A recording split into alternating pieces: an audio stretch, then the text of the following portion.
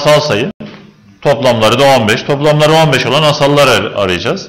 Şöyle yazıyorum ben asalları. 2, 3, 5, işte 7, 9 asal değildir. 3'ün katı çünkü. 11, 13, bir sonraki 17 böyle gidiyor. Devamına bakmaya gerek yok. Toplamları 15 edenleri arayacağız. Şimdi kimler olabilir? İşte 13 ile biz e, 2'yi alsak toplam 15 eder. Başka var mı 15 edebilecek olan toplamları? Ben göremiyorum. 11 yok. Demek ki bizim sayılarımız 2 ve 13'müş. Hangisinin 2 hangisinin 13 olduğu önemli değil. Çarpımı isteniyor çünkü.